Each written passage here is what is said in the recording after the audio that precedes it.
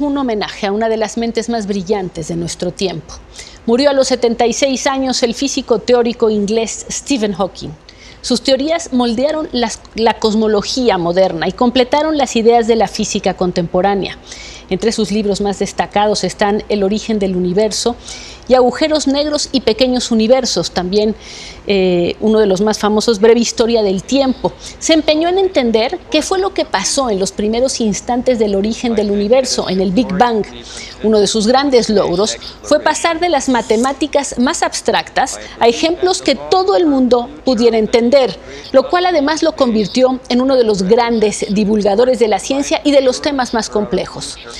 La naturaleza del tiempo, el origen del universo, hacer del conocimiento algo vivo. Hawking fue un ejemplo de perseverancia. Padecía esclerosis lateral amiotrófica, una enfermedad degenerativa que le diagnosticaron a los 21 años y que lo fue dejando paulatinamente paralizado. A pesar de ello, Hawking siguió trabajando, tratando de comunicar sus ideas, compartiendo sus conocimientos. Descanse en paz, Stephen Hawking. If our species is to survive the next hundred years, let alone a thousand, it is imperative we voyage out into the blackness of space to colonize new worlds across the cosmos.